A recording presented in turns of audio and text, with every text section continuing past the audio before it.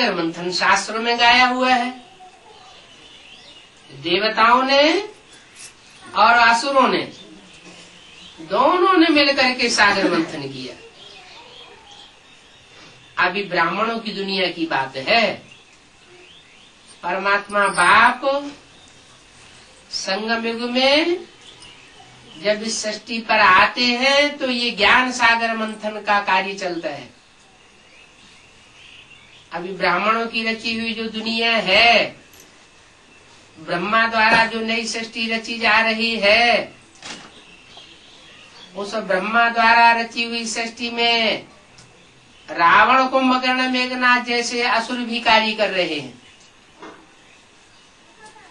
और जो देवात्माएँ बनने वाली आत्माएँ हैं, वो भी कार्य कर रही है। ये देव और असुर का संग्राम, ये ज्ञान मंथन का संग्राम है।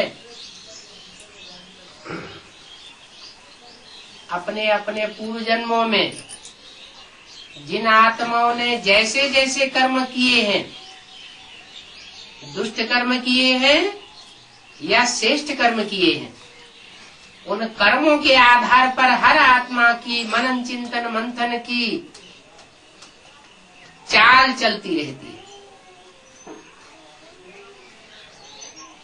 जिन्होंने श्रेष्ठ कर्म किए हैं, उनका मंथन श्रेष्ठ चलता है। परमात्मा की श्रीमत के आधार पर चलता है। उसमें मनुष्य मत या मन मत मिक्स नहीं होती।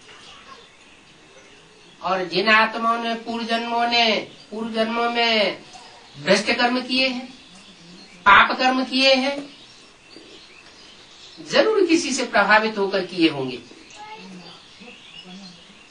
तो वो आत्माएँ मन मत और मनुष्य मत मिक्स करके मंथन चलाती है।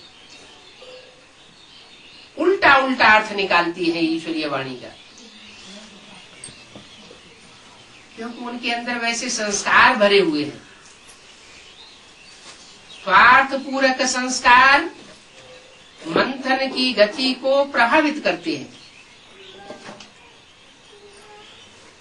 अभी बाप दादा का कहना है कि तुम बच्चों को मनन चिंतन मंथन से वो सार निकालना चाहिए ज्ञान का। कहते हैं, कृष्ण ने मक्खन खाया। तो कृष्ण ने सिर्फ़ मक्खन खाया ही होगा या मक्खन निकाला भी होगा?